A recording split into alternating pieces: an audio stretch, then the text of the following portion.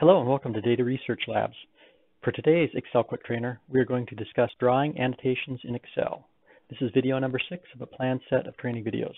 The target audience is students and the objective is to get you quickly up to speed using Excel.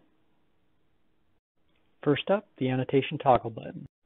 So we'll start with a test Excel sheet with a bunch of fake data in it. But first, a level set. Excel calls what I'm about to discuss in the rest of this video drawing but I'm going to call it annotations because that's more of the way that I use it. And there's a second level set. Let's go ahead and click on the draw menu. And that is that all these annotation objects, pens, they all require that the draw button, toggle button, be depressed. So this is a toggle button, and what a toggle button means is right now it's depressed and then it's not. So that's the on state, that's the off state, and that's it. There's two states, on and off. And in order for any of these to work, you have to have it in the on mode. Next up, annotation with pens and pencil. So here on the draw menu, there are two pens that are pretty much the same, a black and a red that default, and a pencil. The reason they give you two pens is you use pens frequently and you don't want to use a pen, draw something, then have to go up into the settings, make a bunch of changes, draw something else and change. They give you two so that you can get two set up and uh, alter between. So let's go ahead and make sure that draw is depressed. It is. Make sure the black pen is depressed. It is. And then let's just go circle this for whatever reason. So there we have our first annotation. Now let's go to the red and we'll circle this for whatever reason. Now we have a second annotation. Now if we want to go change the black pen, we can look at the properties that are there. We could change the thickness and make it really thick. So let's try that. And oof, boy, that's going to be huge. it's just really thick. Or we could change it to really, oh, that just goes smaller, smaller, smaller. We can go to the smallest size here and then draw that. Also, we could change the color. Sure, we'll go to orange. We'll put the thickness up to wide and then draw our orange. And then they had some oddball like space color. We'll make it really wide so you can see it. So interesting if you want to use it, there it is. Uh, so that is the two pens. Switch it back to more of a default. And then there's a pencil setting. I, I don't really like the pencil much, but anyway, it defaults to gray, and and it's going to look like a pencil. you could circle, but you barely see it. What if I go to black? It's going to look more like a charcoal there. So that's what the pencil does. And it could look like a colored pencil. You just go change different color, or you could click down here and get unlimited colors. Um, let's see, annotations. These, let's roll this up. These objects go kind of in their own layer as a way to think about it. So the spreadsheet, the grid is on the bottom, and these drawings are on top in their own layer. Uh, as a quick tangent though, I'm going to hit a new sheet.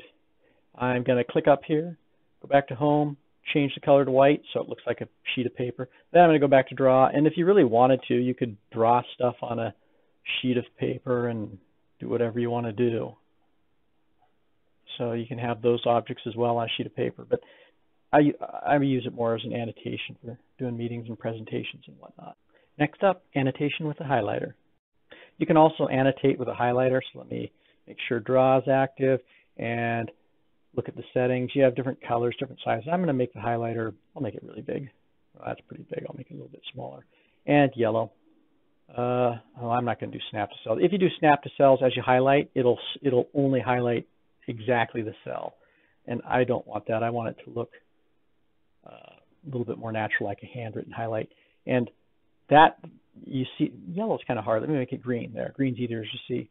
The green highlight. See the height of the cell? That's actually it's going to highlight that thickness.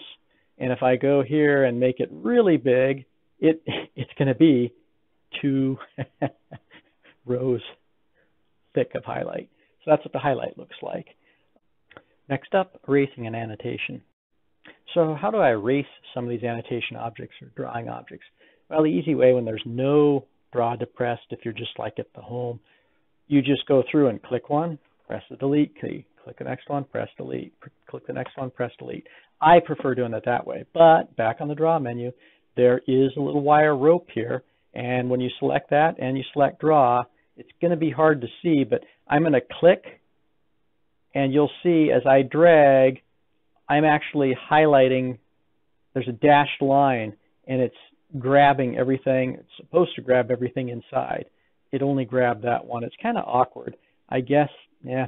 So anyway, I can hit delete and it's going to, oh, it did get them all. So everything I circled, it got rid of. So let's try that again so you can see. I have the wire rope depressed. I'm going to click right here and I'm going to drag a circle around. It's hard to see. And then I'm going to release and that should highlight these three objects. So here we go. Mouse pointer down, circle, circle, circle, circle, circle, circle, and release. And it should have grabbed all those objects. I can move them or I can delete it. Now theoretically on this last one I will uh, do the wire rope again circle it all. Theoretically, I can right click and bring to front. That does work, send to back, but it's never going to go behind or in front of the grid. It's just other objects that go behind or in front of. Um, and then uh, the size and property format link, it's kind of hit or miss. I probably wouldn't use those. There's no fill, there's a line, and I can change the color of the line, but it just gets awkward. So now it's blue, but if I come back up here thinking I can change it, it isn't going to change. So I don't know.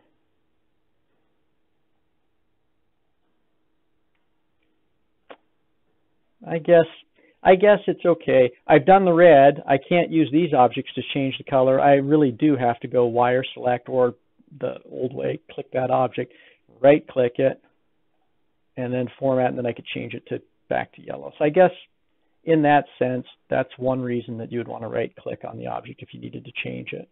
But you could just as easily delete it and re-highlight it in a different color. Next up, the ink to shape toggle button. If you ever want to hand draw a shape like a circle or a triangle or a square and then have it auto snap into that exact shape, then draw with the ink to shape button on. So we're going to start by clicking draw, making sure clicking draw again, making sure that the red pen is down, and then making sure that ink to shape is depressed. Now this should work, but sometimes it's a little bit flaky. So I'm going to go ahead and just draw a square. And there we go. It auto-snapped into a square. And I'll draw a rectangle. And it auto-snaps. And I'll draw a triangle. Auto-snaps. And I'll draw a circle. And I'll draw an oval. or something. Try an oval again. That's interesting because I can do a three-dimensional shape. Nice. I wonder if I can connect off of it. Nope. Ooh, it does arrows. Anyway, it's it's interesting. Um, I can also take off the draw mode. Like this thing, I don't like it, so I select it hit delete key. This thing, I want to make it bigger, so I can go grab an anchor point and drag it. I can grab this little rotator and rotate it.